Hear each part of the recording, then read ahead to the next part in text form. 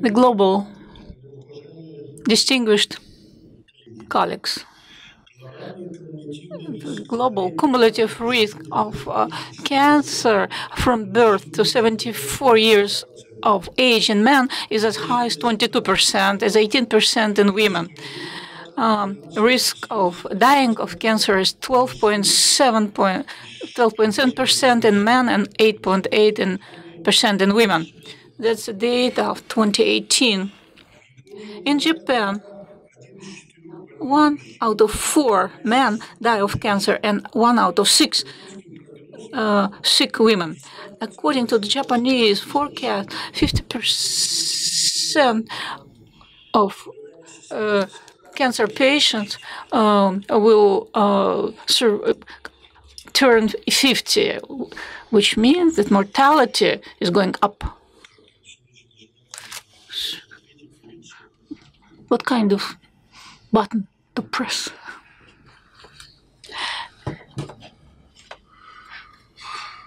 Up with mortality. I do not see what button to press. Okay, for hundreds of years, people were aware of uh, lethal uh, cancer diseases, oncological diseases, without understanding the essence. You know, like uh, millennia of uh, voodoo, voodoo medicine uh, basically failed. You know, like people try to uh, treat cancer with herbs, simple molecules, and um, surgical um, treatment uh, for cancer um, became available in the middle of 19th century. Surgery is a main, a major treatment modality for cancer. And basically, um, uh, organ sparing uh, operations will become a must uh, as target therapy evolves. Uh, on autopsy of uh, those died um, poisoned with Iprit uh, in, in Germany and during the World War One, uh, people discovered aplasia, um, bone marrow aplasia, and that's how the idea was conceived uh, to develop a Iprit analog. It was a Mustargen. It's a Russian that's the name. And it uh, became very efficacious in the setting of lymphoma. And basically, the, Dr. Phillips, you know, told me that uh, in 1946 in the U.S. Uh, oh.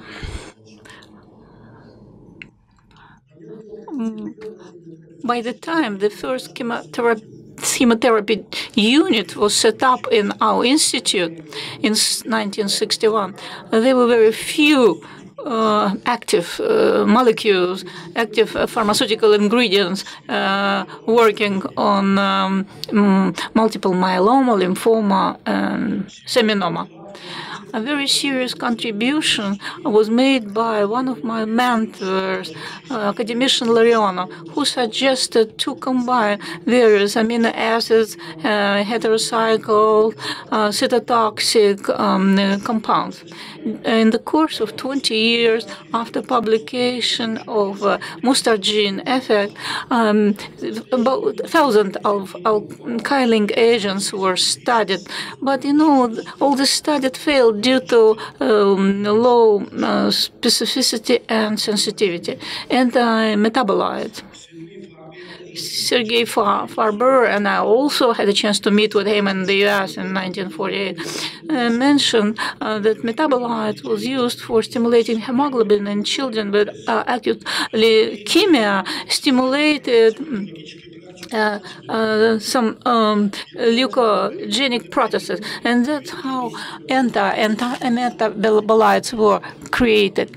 Basically, they were used uh, in um, uh, acute leukemia, leukemia, and such effects have not been observed before. They were so happy; they thought they had the result, leukemia treatment problem.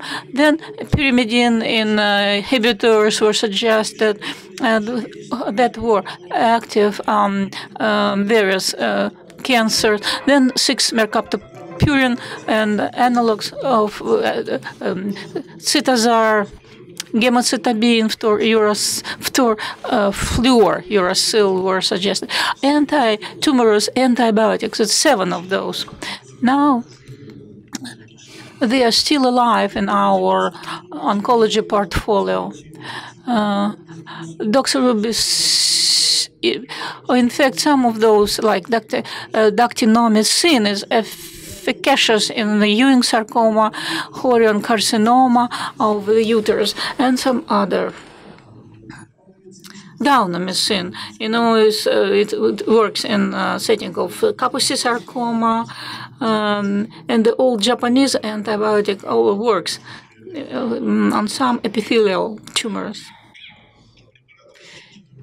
Um, the herbal uh, drugs anti-tubular uh, inhibitors, anti-tubular drugs, topoisomerase uh, inhibitors. They are good for neuroblastomas. Toxins, irinotecan, topotecan, anti-tubular, and again uh, topoisomerase inhibitors, uh, some are used for Kaposi sarcoma and other uh, tumors. Um, Abraxane also belong to this group. Classical non-target anti-tumorous drugs uh, mm, are um, prescribed in mm, metastatic cancers for 1.5 years. And uh, um, uh, testicular uh, tumors and trophoblastic um, disease are the exceptions to the rule endocrine therapy works on some cancer um, because the cells they are derived from um, hormone sensitive, and the hormone sensitive cancer comprise um, breast cancer, prostate cancer, uterine cancer, some neuroendocrine tumors. endocrine therapy for blood for breast cancer is an, an example of target, first uh, example of target therapy. Uh, you know, aromatase inhibitors and their uh, analogs, LHRH, uh, used. Now, basically, you know, in 70 to 80 percent of patients, uh, they are efficacious in the course of the last 30 years. So we modified, dramatically modified our understanding of uh, cancer pathogenesis due to attainments of molecular biology.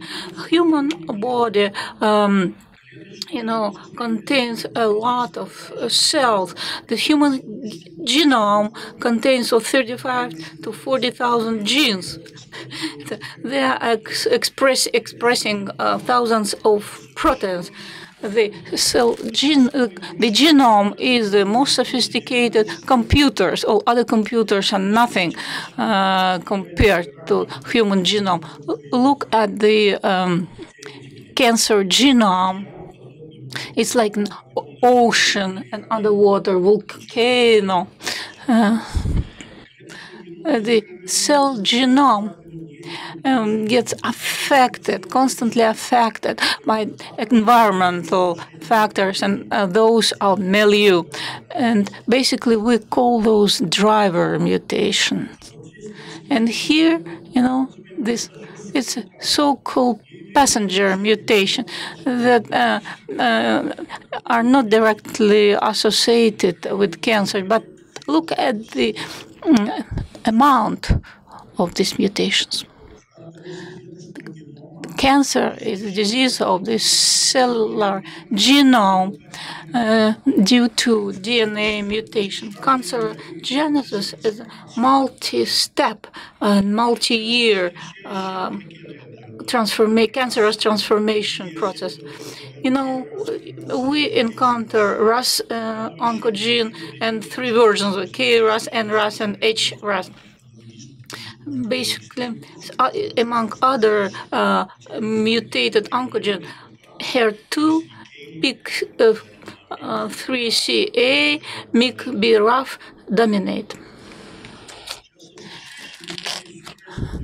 New um, the common mutation of the suppressor genes, P53 block. The block of this gene uh, results in mutation and basically it leads to uh, impairment of various cellular functions, including uh, cancerogenesis. And one, it's, um, protein inactivating other proteins. Um, mutations um, seen in genes, um, rep DNA repair. Malignant uh, tumors possess the following qualities, properties. They cannot be they do not control hyperproliferation. Um, they, in fact, uh, mm, uh, are not um, acted upon by suppressor uh, and basically they cannot uh, be subject for immune destruction. All these indicate that key processes are the target for molecular therapy. In the US, since 2018, in the armamentarium of target uh, drugs um, allowed by the um, FDA, uh, um, there, there were 90 of those allowed by FDA, and uh, many of those are still in uh, development. Five-year survival in chronic uh, L uh, is rather good. In um, acute uh, lymphoblastic leukemia, it's 65% survival in children and 15% survival, five-year survival in adults. Multiple my myeloma. In fact, 50% of uh, um, patients um, survive on uh, target therapy. It's also very successful uh, for melanoma, and colon cancer, kidney cancer, hypernephroma target therapy for lung tumor is difficult due to a variety of gene impairment. Um, there are 18 genes uh, 18 types of mutations. That's why we have to find a person that would have just one mutation, it's one story. And whenever a patient has 18 mutation, it's another story. You know, it's, it's more difficult to find and uh, prescribe treatment. Contemporary immune therapy for cancer uh, was suggested at the end of the previous century. It's uh, you know the function of these gen, genes CTL, A4, PD1, and PDL1 have been characterized. They protect you know um, tumorous uh, cells,